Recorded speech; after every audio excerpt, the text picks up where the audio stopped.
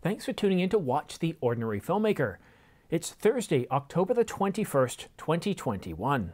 In the first teaser video, we got to see what the Nikon Z9 looked like from the back. Well, here we have a photo of the Nikon Z9 from the front. The Nikon Z9 is shaping up to be a terrific camera. We've just seen from three teasers that the capabilities of this camera just look absolutely incredible, that it's a highly capable camera. The leaked specifications look incredible, as does what we got from the development announcement, showing that this is going to be a truly incredible camera. Similar specs to the Sony Alpha 1. And then, of course, we got the teaser videos, which show off incredible capabilities in terms of being able to record 8K for over two hours without any form of overheating or record limits. A 45 megapixel sensor, 30 frames per second stills, better dynamic range, low noise, and an improved autofocus system. Today, Nikon Rumors came out and said, look, um, we've got a lot of people commenting, sources who are working with this camera, testing the camera out, reviewing it, and they're telling us some incredible things. That the Nikon Z9 is a major update over the D6. That the Nikon Z9 is not playing catch up to the competition, it actually leapfrogs or exceeds the competition.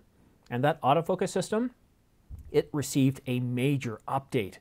It's highly accurate. As you can see in the last teaser video, you can see that the autofocus system locks on and doesn't let go. And this is what Nikon rumor sources are telling us is that this is true, that it, just like you saw in Tony's leaked video yesterday of the A7 IV, the A7 IV's autofocus system is much faster, it's much more accurate than the A7 III. So you must be wondering, what is this thing going to cost? Are they going to go to $7,000, $7,500, or even more? With a Canon R3 coming out at $59.99, it leads us to believe that the R1, when it does come out, is going to exceed that by, well, quite a bit more. Now, rumors say that the Nikon Z9 is supposed to cost somewhere between six and seven thousand dollars. Well, another source has said and told Nikon Rumors that the price is going to shock, but in a good way. Okay, so it's going to shock in a good way. Well, I think it's pretty safe to say that currently, today, the price, the going price for a flagship mirrorless camera is $64.99.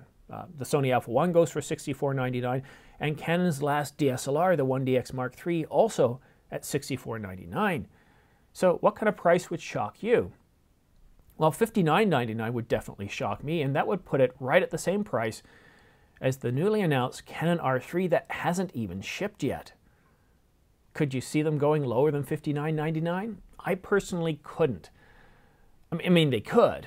I mean, that would be a huge disruptor. A camera with these capabilities being able to come in at under $6,000, like $54.99 or $49.99, to me, just that would be too much of a disruptor. And if this camera is as capable as Nikon is leading us to believe through the teaser videos, through the development announcement, and what we're hearing from all these people testing the camera, I can't see them going that low. I could see them doing 59.99. That's a shot across Canon's bow. It's it's truly um, an exciting camera, and I can't wait for the announcement event next week.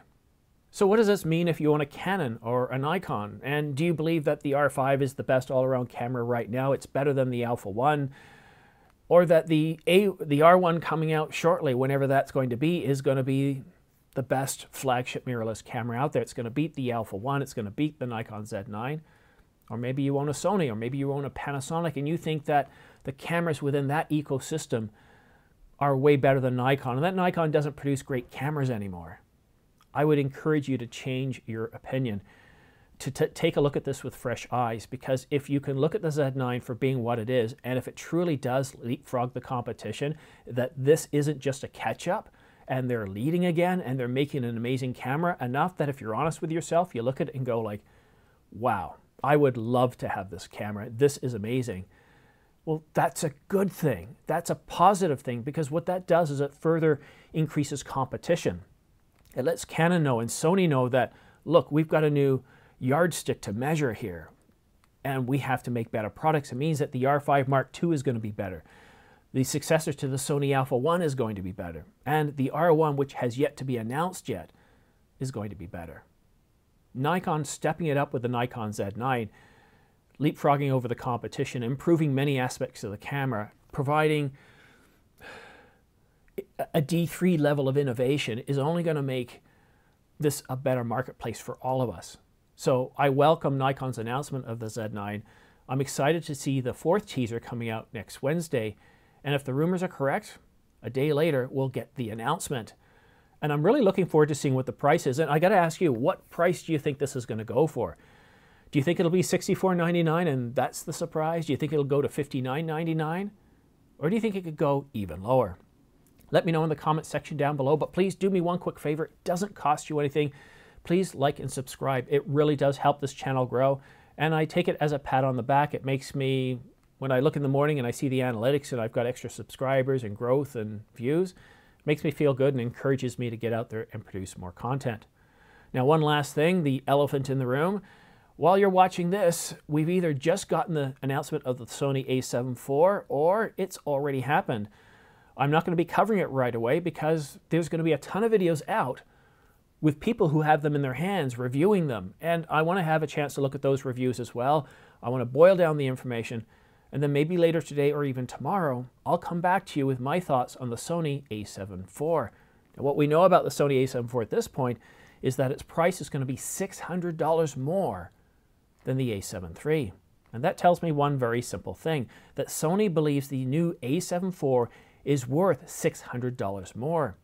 It's also Sony's way of saying, we're no longer the new entry into the market, we're a market leader and we can command this price. Now, some of you in my comments yesterday to the video I put out about the a7 IV, the leaked video by Tony Northrup, this one right here, uh, some of you have said that this is not enough to justify the price, and I agree. But you see, in that video, Tony only, only talked about Still's capabilities. He didn't touch on video. He just touched on it very, very shortly from vlogging and then said, I'm going to cover off the video or vlogging features in another video. So let's wait a few hours. Let's take a look at the Sony a7 IV with a new set of eyes because if they can deliver 7K oversampled 4K and produce really good detail 4K without a crop, well, that beats the Canon R6 in video specs.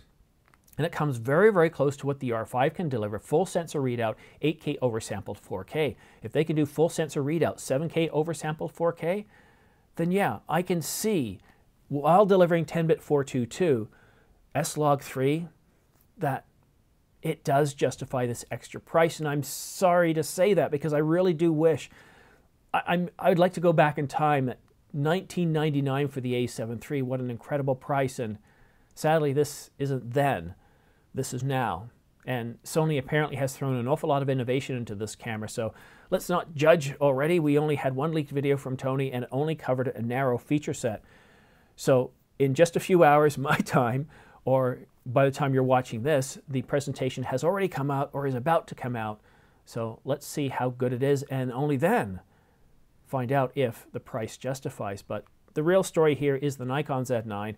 I'm looking forward to seeing this camera. I would honestly, based on what I've seen right now, I would love to own this camera, but they would have to price it so very low for me to even be able to consider owning it. I've already got a, a really good camera. I got the Canon R5.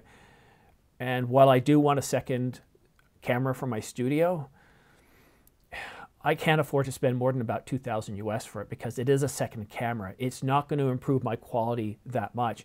It just gives me more options, more capabilities, more flexibility. Now, I just have a quick favor to ask for you. If you could please go ahead and like and subscribe. It really does help this channel grow, and I like to think of it as a pat on the back as well. But that's it for now. Thank you so much for watching. Have a great week, and we'll see you again soon.